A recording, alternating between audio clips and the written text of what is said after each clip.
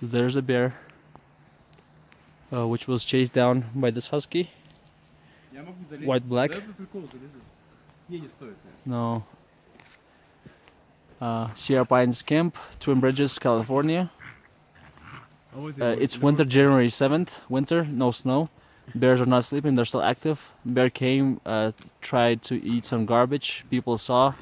It's a little cub, chased it away, and then we released this uh, dog right here, Taiga and Taiga located the bear and then came, found me, showed me the way, led me the way, and uh, here we are filming this cub.